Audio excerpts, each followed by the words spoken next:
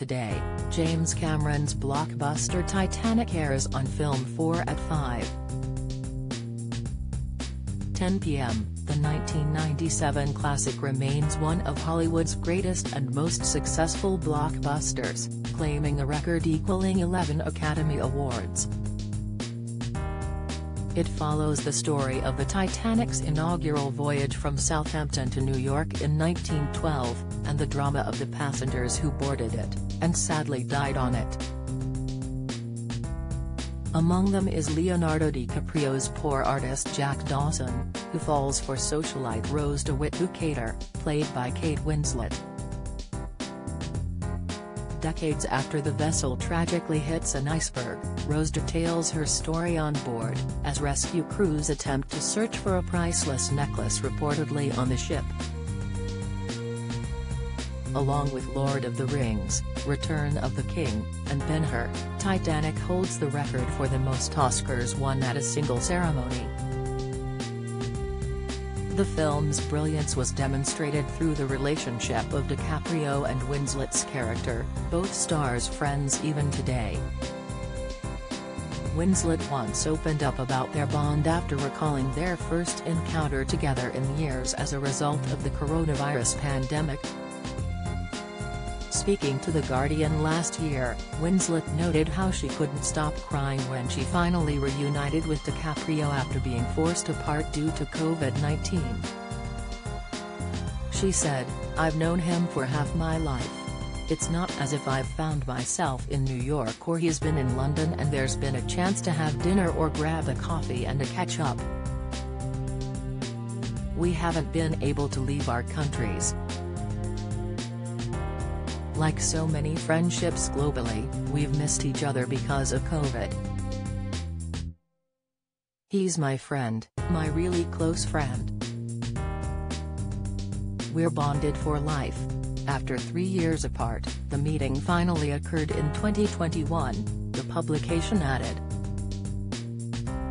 Winslet has opened up previously on how Titanic changed her life as she went from being a relatively unknown star to the leading actress on the then biggest movie of all time. Speaking to Reuters last year, Winslet discussed the impact that film had and how nothing prepared her for what would come as a result of its release. The Reading-born star continued, I was 21.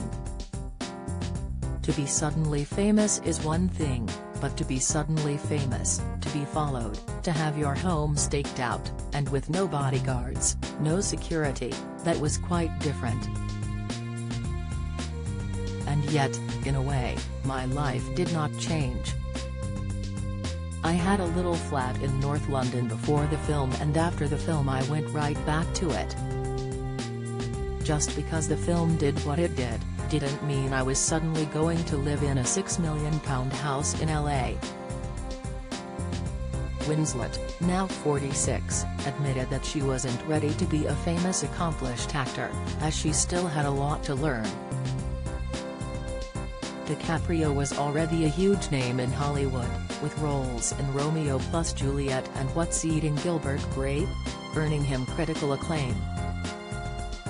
He recalled how Robert De Niro was central to earning him a breakthrough role when auditioning for 1993's This Boy's Life. Speaking about his time on set for the biographical film, DiCaprio told Time Out, I was 15 years old, and I remember every single detail, everything was so new to me. He described seeing De Niro on set as being one of the most influential experiences of my life as he was able to witness the legend's dedication to the craft. This bond helped establish DiCaprio among the elite of Hollywood, but the star noted how he had a culture shock when it came to his first scenes with De Niro. DiCaprio continued, De Niro's like, is it empty, is it empty? And I just stood up and threw my chair down, or something, and screamed at him, no, it's not empty. He added, and then, De Niro, had this smirk on his face, and just started slowly busting up, laughing in my face. And then he looked at everybody else, and the whole room started laughing.